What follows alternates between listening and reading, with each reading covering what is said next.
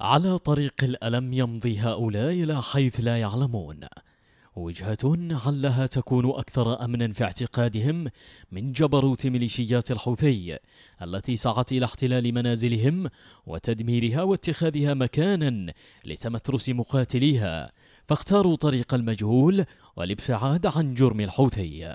مئة أسرة في قحطبة الضالع أجبرتها ميليشيات الحوثي على ترك منازلها بعد أن حولت منطقتهم إلى مناطق حرب خاصة قرى سليم وحمان والغشة والزمعري أكثر المناطق التي نزح أبناؤها من منازلهم بقوة السلاح في مسعى من الميليشيات لتحويل تلك القرى إلى ساحات حرب. وهج الشمس الحارقة في هذا الصيف الملتهب وجبال تحيط بمخيمات النازحين وأرض قاحلة. هي كل ما يحيط بالنازحين الذين أصبحوا بين ليلة وضحاها مشردين هاربين من الحرب التي أشعلتها ميليشيات الحوثية الإرهابية.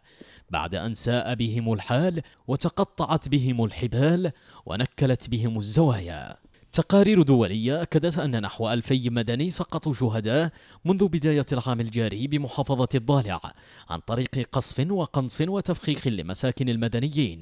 أعمال إجرامية إن دلت على شيء إنما تدل على الحقد الدفين الذي تحمله ميليشيات الحوثي بحق اليمنيين الرافضين لفكرها العنصري الساعي لإعادة عجلة التاريخ إلى ماضي التخلف والرجعية. شريحة النزوح تتسع يوما بعد آخر في محافظة الضالع. ناهيك عن قصف وتدمير لكل منطقة تمر منها هذه الميليشيات الدموية. لتبقى ملامح الدمار خير شاهد على جرم الحوثي وانتقامه من أبناء الشعب اليمني الذين أصبح غالبيتهم بين جائع ومشرد ونازح.